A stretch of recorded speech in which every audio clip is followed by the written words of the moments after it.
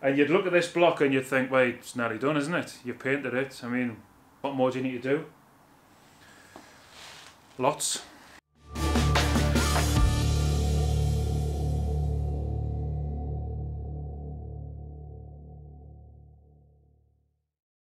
I keep on getting asked about the jumpers and the t-shirts and uh, thanks very much if you're interested. There's always a link in the description. I don't want to ram it down, you know, your throats every video. It's just crap. I didn't start YouTube to sell jumpers and t-shirts. I just thought it'd be funny videoing the stupid shit I got up to, you know what I mean? Was never was never the salesman. But um, yeah, thanks very much. And people asking about hats and uh, stickers. When are you going to do a sticker? Uh, I don't know. Never. Let's build an engine first. So I've already done some basic checks on this engine block just to make sure that the whole block was in good condition and ready to use before it went off to the machine shop.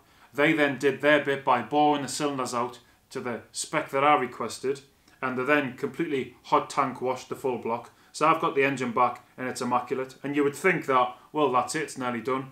Uh, not quite. So things I'm going to be doing in this video is I need to check the piston the wall clearance. So they've bored that out to the spec that I've given them, but I now need to check that.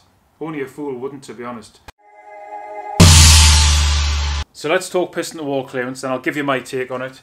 So you've got your cylinder walls, your piston, your rod, and you've got your piston rings. Now them rings are the only part of the piston assembly that should actually make contact with the cylinder walls. And for them to be seated onto the cylinder walls properly, well then the piston needs to be completely stable. If the piston can wobble around like that, well then the rings will become unseated or unstable themselves. You'll get problems with oil control, compression. So without a doubt, them piston rings need to always be nice and stable. Now, at the same time, you want that piston to move freely up and down the cylinder wall, so therefore there has to be a bit of a gap here. And that, that gap there is your actual piston to wall clearance. Now if that gap's too big, then you might have a situation where the piston can actually move around in the bore, so therefore it can become unstable. That'll not be very good for your piston rings, so you'll probably be down on power because the compression will be down. You'll be down on oil control, so you might be burning oil because the oil can get past the point where it's not sealing very well. At worst, have a situation where the piston's moving around that much that it actually contacts and wears on the cylinder wall. And if that happens, again, the rings aren't going to seal very well on a worn cylinder wall. You might even gouge the bore or scratch it a little bit. You're going to have loads of problems. So piston wall clearance, if it's far too big, is a bad thing. Now, on the other hand, if the piston wall clearance is too small, well, it can be just as devastating. And that's because of thermal expansion. The piston is made of metal, like a cast steel, forged, forged aluminium alloy. And then when the piston, being at the angry end of the engine where all the action happens, uh, when that gets nice and hot, then the metal actually starts to expand. And if your piston to wall clearance is too small, well, then the piston can expand more than it should. And again, give you all the same problems. Your rings aren't going to seat properly. You're going to score the bores. And you might even actually have a situation where the engine nips up, as in it gets far too tight.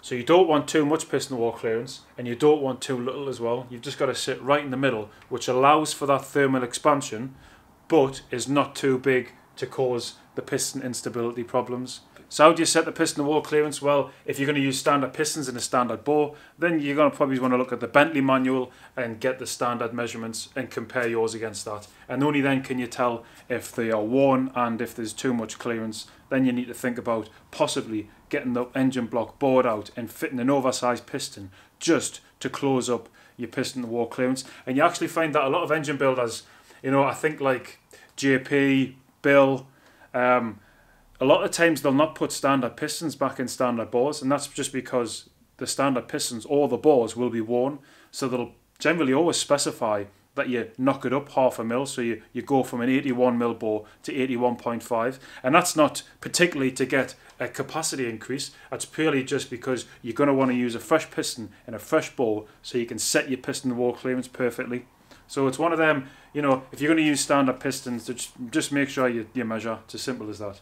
I'm not going to be using standard pistons. I'm going to be using forged 2618 aluminium alloy pistons from JE and you get these instructions plus the data sheet when you buy the pistons. And on these instructions, it gives you the measurements, which you can double check, and it also gives you the instructions for setting piston to wall clearance. Now if we just quickly go through this I'll be able to show you that my pistons come under the Sport Compact 2.5 to 3.6 inch because the pistons are um, 83 mil so that's about 3.2 inch uh, which means that my minimum clearance piston to wall should be 3 to 3.5 thou. Now you will actually find that these piston to wall clearances are actually bigger than standard and the reason for that is because these 2618 aluminium alloy forged pistons they actually have a higher rate of thermal expansion so in use they grow more so therefore you have to have more clearance.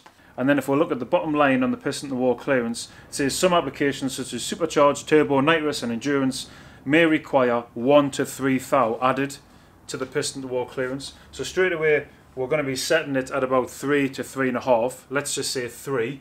Uh, and then we need to think about adding 1 to 3 because this is going to be a turbo engine, so more heat. It's going to be a track engine, so again, more heat, high RPM.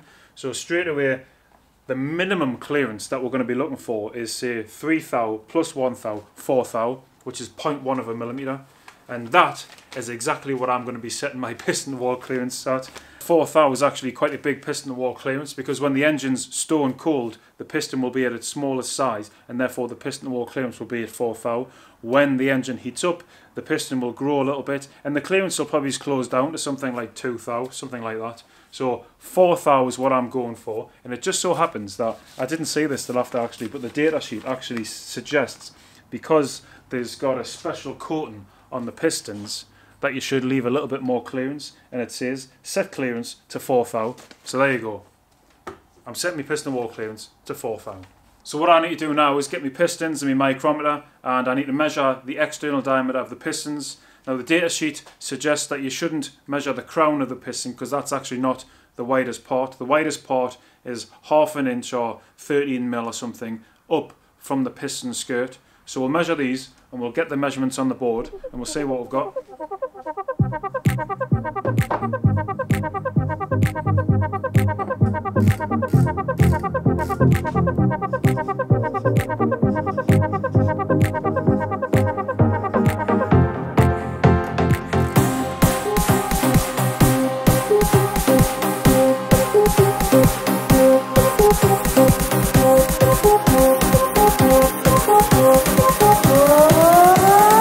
Right, so all of my pistons are measured and are shown up as 82.88 mil diameter at the piston skirt.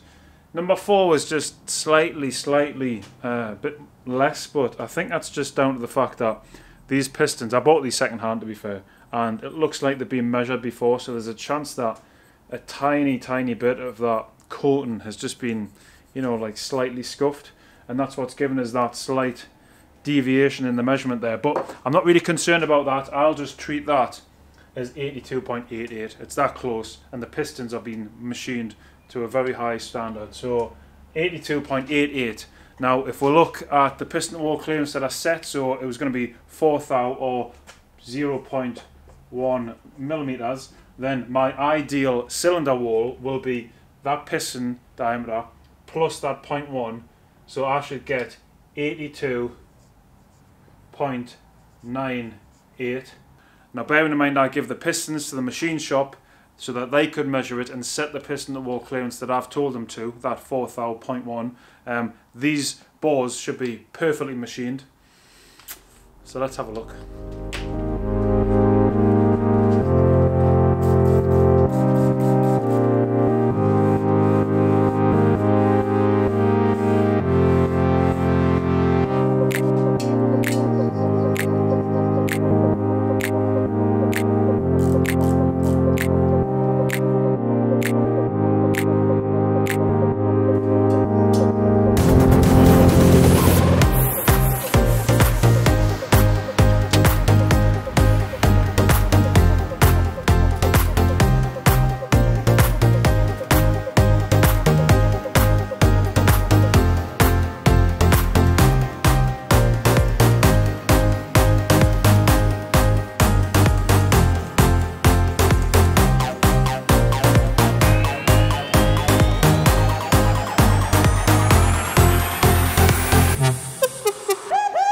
So that's the cylinders measured, and I measured at the top, middle, and the bottom of the cylinder in a few different orientations, so it meant that I've got absolutely loads of measurements. And for me 82.88 mil pistons with me 0.1 piston to wall clearance, I should get 82.98, and I'm getting